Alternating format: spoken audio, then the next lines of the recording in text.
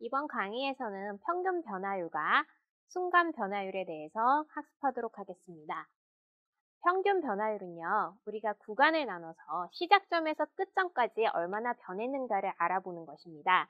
자, 함수 fx가 이렇게 주어졌을 때요, 우리가 a하고 a에서부터 h만큼 떨어진 끝점까지의 변화율을 보고 싶으면요, 자, 그, 지, 그 그래프가 지나는 지점을 찾아서 이것을 영, 직선으로 연결을 합니다. 그리고 x의 변화량 분의 y의 변화량을 한다면 그것이 바로 평균 변화율이 되겠습니다.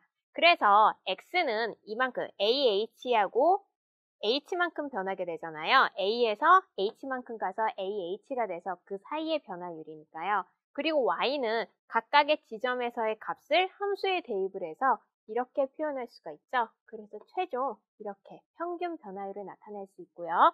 이것은 우리가 기하학적 의미를 본다면 우리가 이 점과 이 P점과 Q점을 이어서 요 x분의 y를 구했기 때문에 우리가 익히 알고 있는 함수의 그 구간의 기울기, 직선을 그었을 때 그 직선의 기울기와 동일합니다.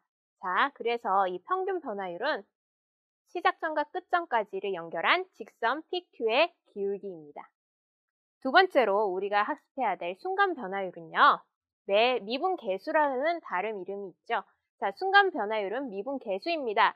자, 미분 계수라고도 하는데 어느 한 점에서의 변화율, 즉 한 점에서의 순간 변화율을 이야기합니다. 그 점은 어떻게 찾냐면요. 이렇게 임의 함수 fx가 주어졌을 때 한 점 a에서의 순간 변화율을 알고 싶으면 그 점을 함수에 찍고 그 점에서부터 접선을 그립니다. 그 접선, 수직인 직선이죠?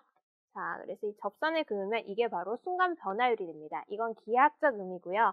식으로 표현을 한다면 앞서 배운 평균 변화율은 h 값이 있었잖아요. a에서 a, a 플러스 h, 그러니까 h만큼 변할 때요. 그 h를 매우 작다고 보는 겁니다. 아주 매운 작은 값에서 바로 옆에 붙어 있는 값, 그래서 이것을 0으로 보낼 때, h를 0으로 보낼 때, 즉 극한에 취할 수가 있겠죠.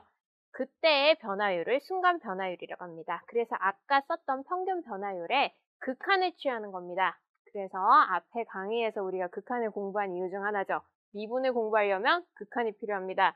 자, 그래서 h를 0으로 보내는 극한에 취했을 때 평균 변화율이 곧 순간 변화율, 그리고 이것을 미분 계수라고 정의를 하죠. 그래서 F'이라고 이렇게 표현을 합니다. F'A라고 이 A에서의 순간 변화율이니까요.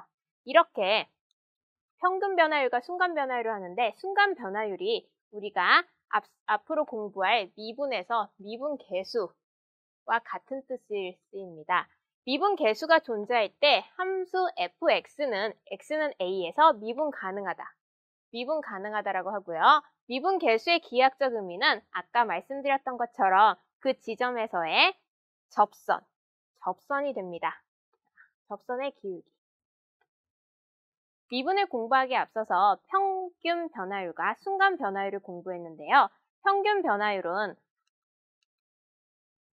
시작점과 끝점, 그 전, 그 시작점에 해당하는 함수와 끝점에 해당하는 함수를 이은 직선의 기울기라면 순간 변화율은 그 해당하는 점의 그 접선의 기울기라고 있고 이것이 바로 우리가 구, 미분에서 구하려고 하는 미분 계수입니다.